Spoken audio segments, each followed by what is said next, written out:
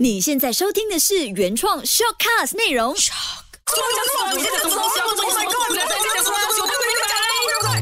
鸟是生非。欢迎收听《鸟是生非》，我是金鱼，我是建伟。安用，我是家具。上个星期是不是听得不过瘾嘞？上个星期的时候呢，我们就请来 Bobo，就是我们的营养治疗师，教我们怎么样吃的健康。那这个星期要聊什么呢？哎，我跟你说，真的是祸从口出，一切都是从口我们这个口吃进去。你是要讲病从口入是吧？哎，祸从口出，病从口入啊！完了完了，反正就是今天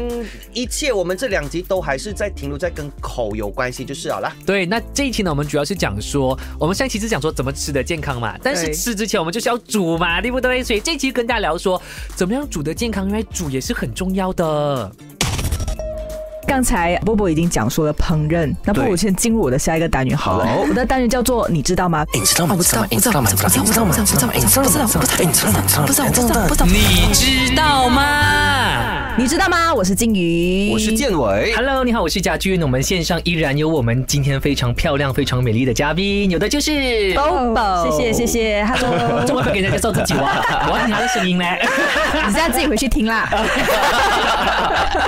因为讲到这个烹饪，就像刚才我提到的，因为我们在 MCO 期间，很多人就开始解锁了新技能下厨这个问题。对那在煮的方法上面，因为我们都知道说，我自己原本有的知识就是说，我们如果是川菜，就是讲讲川菜，就是煮那个水，就用水去煮那个菜的话，那个菜就会流失那个所谓的营养嘛。对那是不是不同的烹饪方式，其实会不会造成我们的营养流失呢？会，其实就是像你刚刚讲的，如果好像我们的营养素的话，有分成两种，好像我们维生素来讲的话，我们有 A、D、E、K，然后还有 B、C 这么多的营养素嘛。那它们呢，其实是分成两大组，一个是水溶性，比方说就是它可以在水里面溶解的；另外一个叫脂溶性的东西。所以如果水溶脂溶性就是在油脂里面可以融化的一些维生素。OK，OK，所以如果你是煮菜呀、还是煮一些肉啊，然后你是用水去烹饪的话，煮的时间越长，基本上流失的营养素就会越多，而且比较多流失的话就是维生素 B 或者是维生素 C。呃，这个人体呃维生素 C 跟维生素 B，其实它给人体的一些功能是什么呢？维生素 B 的话要讲的话，基本上可能要讲个三个因为它是不是有 它是不是有 B B 一到 B 十它十六嘛？对，它没有不是 B 十六，因为是16个 所以我就 B 对16 B12 对啊四个。其实就有很多，然后它也包括好像比方说你一整天下来的能量啊，production 啊，你要怎么样用你你的身体吃进去了的营养素要怎么把它转换成能量，那些都是我们维生素 B 在帮忙的。嗯，对，然后过维生素 C 的话，基本上就是大家都会听到的，就是免疫力呀、除此之外就是我们的皮肤。啊，如果你吃很多维生素 C 的话，比较白皮肤会比较短一短一点，对。哦，像比如说，像是一些健身的人，他们都爱吃那种鸡胸肉嘛。嗯嗯。那他们其实鸡胸肉一般煮多久才不会让那个里面的营营养养流流失失掉？通常都是越短的时间越好，也看人家个人喜欢的那个口感是多少。如果你是用哦水来滚的话，基本上它都是需要用很长的一个时间，它才会熟。对对啊对。，所以另外一个方式可以用的话，其实就是微波炉。哦对，微波炉你可以看到它比较快就可以熟了，所以其实微波炉会是一个比较好的一个选择。就是讲说微波炉可以比较好 keep 着那个营养啦。对，因为它很短的时间内，它就可以让那个鸡肉熟。只是重点是微波炉，它很有可能会让你熟的不均匀，所以你要一直去查看，讲说够了三分钟，可能再转一下还是什么，让它可以烧的比较均匀一点。像比如说，像是我我平常我很爱吃 broccoli。OK 可是 broccoli 我就不太吃很硬的哦，我就会给它煮很久。OK 那一般其实这样 broccoli 要煮的时间大概又是多长？broccoli 要煮的时间也是看你用什么样的烹饪方式，因为如果你是用滚的，嗯然后你用蒸的，还是你用那种 microwave 来讲的话，都是需要用不一样的时间。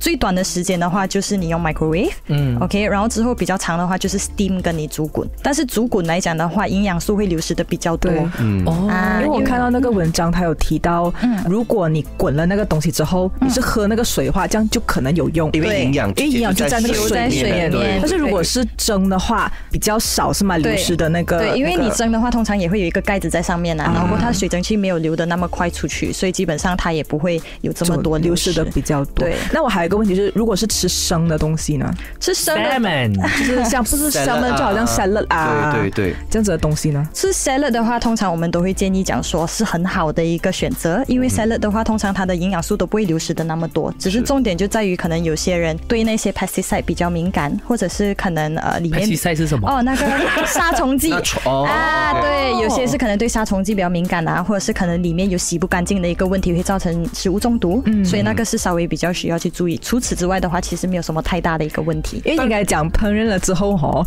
那个肉就会流失，这样吃生肉呢，就好像刚才讲的呃，吃熟悉的对 salmon 这样子，那那它其实对我们的身体是不是是吸收上其实比较想问的是个人个人个人啊私心，我想问一下 salmon 吃了真的脑会生虫的啊？脑会生虫啊，其实没有这么 这么这么的来来，我来解答你。如果你吃的是呃深海的 salmon，它就不会生虫。那、如果你是在浅海的，它就会生虫，因为在浅海它有很多的细菌。或者是寄生虫，所以你吃了之后你就会生虫，你就不要吃太多啦。但马来西亚的 salmon 通常都是属于浅海的。对。但是确实会有这个所谓生虫的这样的一寄寄生个虫是有这样的一个报道讲说，但是其实如果你讲要做 test 啊来讲的话，其实是没有一个很结论性的一个研究哦是讲说有这种生虫的一个定义。但是就是像刚刚讲说的，呃，因为你吃 salmon 来讲的话，会比较容易有细菌，如果是是生的话，哦所以那些很多人讲说，为什么吃了生的东西，隔天就会跑厕所啊，什么之类，都是因为有时候可能他们在处理不当的时候啊，没有清洗干净还是什么之类的话，就会造成有食物中毒的现象。你看，刚刚我们提到的都是说那个烹饪的方式嘛。嗯。那如果是说我们是用微波炉，比如说我们用微炉，因为刚刚就大概这样总结下来是说用微波炉会可能稍微比较好一点，然后那个营养的流失也不会多。那温度上呢？温度也会不会是一个就是决定我们的整个的那个食物的营养，呃，它的到底还有没有办法去保留它的营养的一个一个重要的因素？是，基本上如果你的温度越高的话，营养素也会流失的比较多一些。比方说，好像维生素 C 来讲的话，如果你的水是煮沸腾的话，然后你滚那个菜在里面，通常维生素 C 就会消失差不多五十八先左右。所以这就是为什么我们每次讲说，你每次去吃 steamboat 啊之类的、啊，都是放在里面滚很久嘛，对不对？对对对但是精华都会留在那个汤汤里里面的。面对你最后吃进去的，可能就只剩下一点点的维生素，还有矿物质，还有比较多的是纤维。这样的话，油炸不是很够力哦，因为油炸的温度非常的高高，甚至是超过一百，甚至是有一百八十度之类这样子180的度之。类这样子的话，就说油炸是非常非常不好了。，对，而且油炸其实基本上，如果你有吃那种深海鱼啊，比较高 omega 的东西的话，因为 omega 是脂溶性的，所以如果你油炸它的话，基本上它 omega 会流失在油里面，对，它会破坏。对，所以好像有，如果说我们现在不是会很流行什么呃气气炸锅、啊、气炸锅对对对。那一种这样的都是以高温上的方式去烹饪，虽然是说哦他们是主打什么无油的，对。对对所以那种其实也是会让很容易让我们所谓的食物的营养流失咯。对，其实基本上各种任何一样一个烹饪方式都有可能会流失，但是如果气炸锅来讲的话，他们是主打就是无油啊、无脂肪这样子，所以从脂肪或者是从能量来讲的话，那里其实可以帮助你控制你的体重。所以相对来讲，如果你要讲气炸锅跟煎炸来讲，用油来煎炸的话，当然是气炸锅会稍微比较好一些。了解，所以意思想说，其实我们在烹饪的时候，除了是要看那个时间的长短以外，我们还要注意的就是我们那个用的温度。对对不对比方说，好像如果你知道维生素 C 的东西，可能你要加个 lemon juice 在你的主菜的话啦，尽量就是在后面你熄火了之后才加进去，然后才加。要不然它就会整个消失掉。因为如果你从前面一开始爆炒的时候你就已经放它进去的话，基本上到最后已经没有什么什么生的营养了了。对，所以我觉得这边其实从中也给我们有一个迷思，就是以为说啊烧久一点，烧久一点它就会熟。其实烧越久的时候，其实相当于对我们吃进去可能就是空的一个东哎，西。我真的是对这样的嘞，我真的每次我也是一样，我也是，一样因为我是怕它不熟啊。对，因为好像不过我刚才不是有提到 steamboat 啦，我们就是我都不懂几时才要熟，就放进给它滚了，一直滚就滚着滚这样滚个三十分钟一定熟的吗？对，这样 steamboat 的话，是不是我只要喝那个汤就很好了？因为全部营养都在里面啊，营养都在里面，但是也包括盐也在里面。还有高脂肪。对啊，还有你吃麻辣的话，哦它的油你也非常的那种恐怖细菌，可能它的食物如果又又没有没有所谓的处理到干净的话，全部就是在那个汤里面。其实我其实我一般哦，我在吃 steamboat 我是很少会喝那个汤，虽然我知道那边很高的营养啊。是没有，我跟你对吃过 steamboat，你喝完整碗汤的哎呦哇那。个是以前的事情，现在 年纪随着年纪的增长不一样了。今天才说不一样的东西，这样的。假的，你看现在假的。现在因为是我们叫做营养健康的，变得大家都变得比较健康。那那其实我们会不会就是呃，像随着年龄的增长，我们吃的分量或者是一些类型都会不一样的？如果随着年龄的增长来讲的话，因为年纪比较大的话，其实基本上你也没有在发育了，也没有在发育，而且你可能身体比较容易堆积的是脂肪，所以当然分量之外来讲的话，还是要比较少一点。比好像在发育的人啊来的比较少一些。哦因为你不用这么多能量来供给你的身体再去成长了嘛。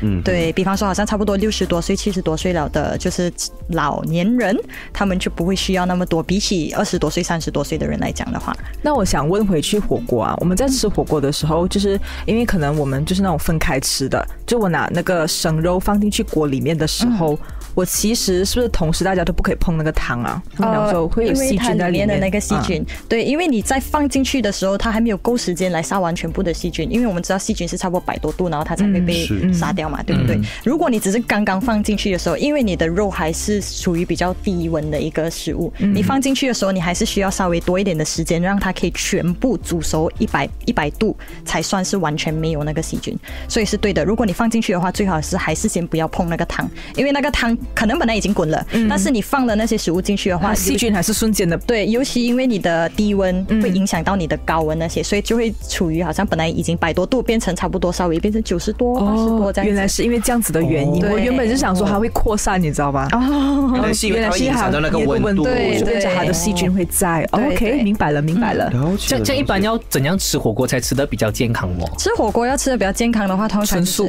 没有啦，不 要吃不要去吃火锅不是好了？如果你只要吃素，不要 对呀，吃素，啊，如果你要吃火锅的话，基本上我们还是建议那种煎炸的，还是不要去吃。就是比方说，好像那种刀鸡呀，或是刀煲啊因为，我最喜欢吃就是岛鸡，岛鸡是什么。那腐竹，腐竹哦，类似符咒，对对对对对。有很好吃哎，对腐竹，但是你看到它黄黄这样子，然后脆脆嘛，对不对？就是因为它油炸过啦。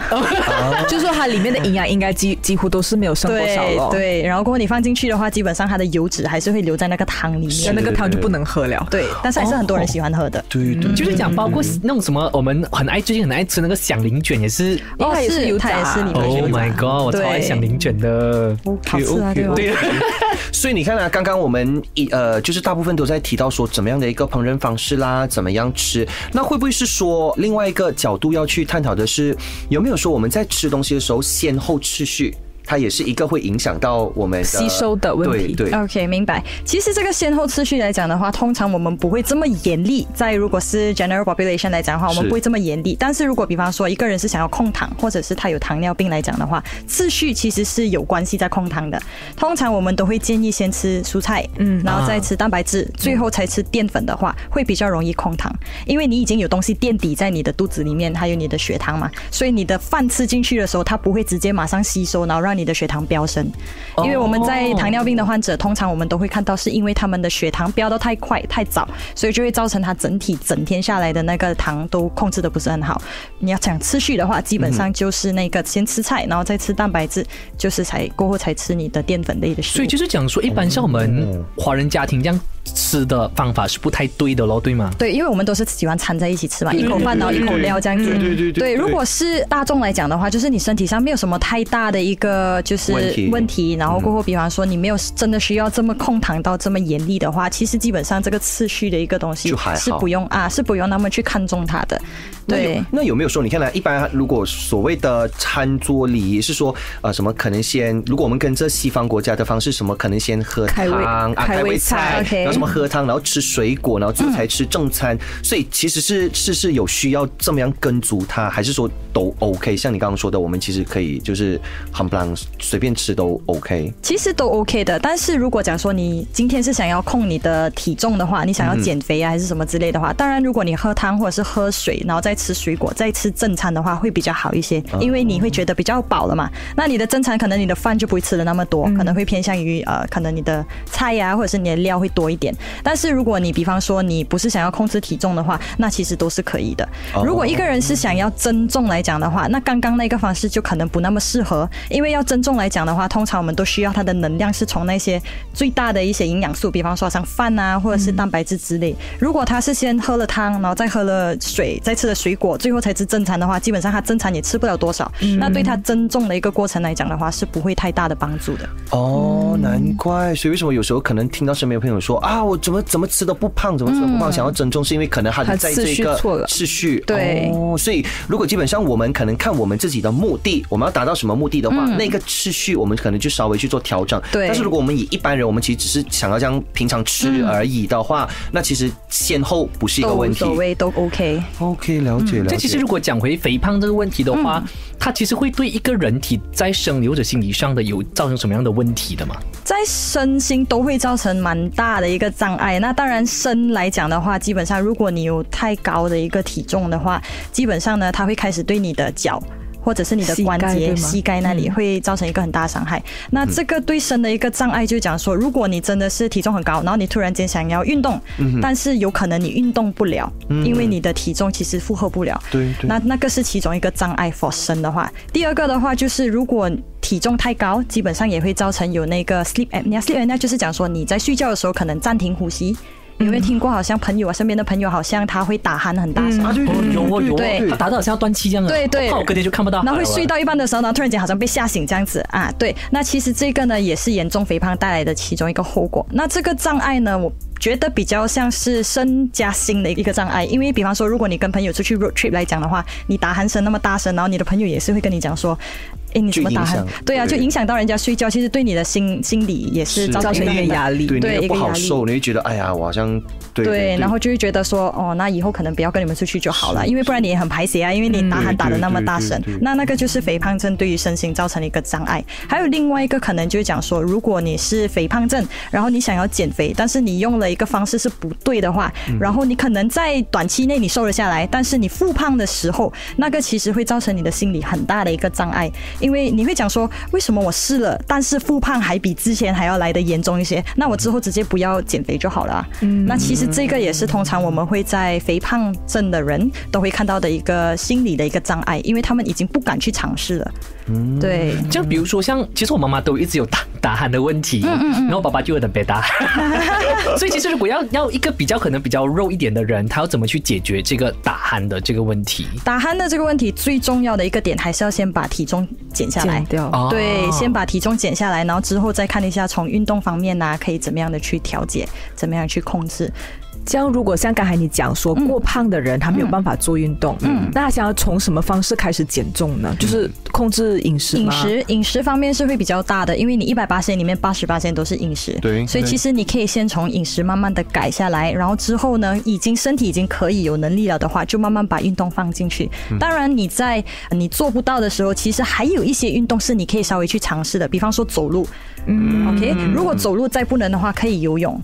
游泳再不能的话，可以骑脚车。因为游泳的那个，他他在水上面的那个叫什么？他们有一个叫浮力吗？浮力，浮力，对，浮力你的上面就水会帮助你在上面飘着这样子，所以其实也有也有一些运动是适合给那些肥胖症的人，也有一些运动是比较适合就是我们 normal generation 还是或者是增重的人。所以我觉得这边也刚好可以给我们的小鸟们听到一个点，就是说，很多时候我们看到可能我们要鼓励我们身边的朋友去减重的时候，可能如果你减肥啊直接，减肥。可能你直接就是 provide 他我们平时自己在做着的运动的时候，可能就会吓跑他，对吧？对对。但是你看现在听到波波还一张提了之后，哎，原来我们可以慢慢的去鼓励他们，可能先从最简单的走路开始，你看多走，OK，那可能就会让他提起那个所谓的要去呃做运动的那个兴趣了哈。对另外一个，我其实刚才想到另外一个，之前我跟金鱼，你还记得我们不是有 argue 那个吃苹果的事情？吃苹果。对，那时候那时候因为我们传统我们是想说啊、啊医生就是对以前我们是说什么一天一苹果，